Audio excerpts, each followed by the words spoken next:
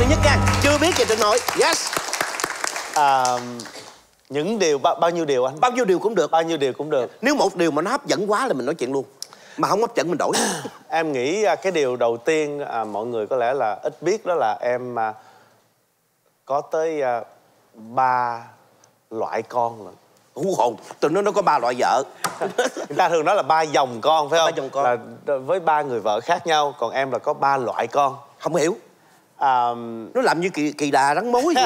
À, dạ. là bởi vì năm 27 tuổi là em có sinh một đứa con nuôi lúc đó em em mới qua phi luật tân À. thì em làm trong các trại tị nạn thì em có một đứa con nuôi lúc đó em đã là luật sư rồi mới qua dạ vâng không? dạ. năm 27 tuổi Dạ. à, em học ra năm 25 tuổi ok à, thì à, lúc đó thằng bé nó là con lai mỹ thành thử thằng con đầu tiên của em á nhìn nó không giống việt nam nó là lai mỹ ừ.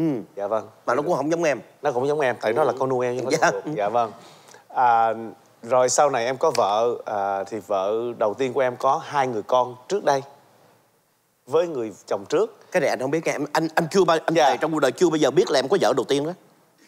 Em, em có một người anh có thể biết em biết có vợ sau cùng nhưng không biết vợ đầu tiên. Dạ so em có một người vợ đầu tiên. Bật biết được không? Bật biết được không? Vợ đầu tiên. Dạ là tên gì hả anh? Được không? Người nào? À, anh có biết không? Dạ biết chứ Ủa? nhiên anh biết chứ thôi mà anh biết Ồ, thôi, thôi, vậy người đó là người đầu tiên phải không? dạ vâng người đó là người đầu tiên. dạ thì à, người vợ đó có hai người con trước đây Hiểu rồi, hiểu với rồi. người chồng Hiểu, trước hiểu, hiểu. thì lúc đó là con kế Ừ.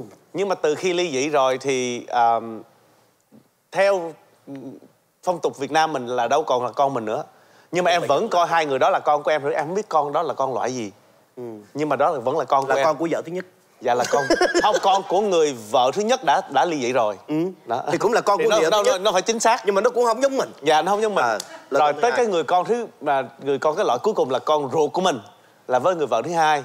Nhưng mà đứa con đó lại giống mẹ nó lắm không giống em. Thì ra cả ba dòng con không giống nào cũng giống em hết nè không lẽ đứa đó giống mẹ nó với giống ông nào nói chuyện cái sợ quá à, luật sư nữa nói chuyện rắc không rối quá nó nói vậy thôi chứ tại vợ Ờ, em hiểu, nói đó hiểu. là con của em dạ. hiểu hiểu hiểu nhưng mà nó giống em nhìn thấy giống mẹ nó hơn nhưng mà em thì thì khi mà mẹ em nhìn vào thì mới nói ừ ta cũng thấy nó giống mày chút chút đó dạ. Sao có ba loại ba loại con ba ba ở ba loại chứ không phải ba dòng. loại chứ không phải ba dòng dạ. nó ngộ ha dạ.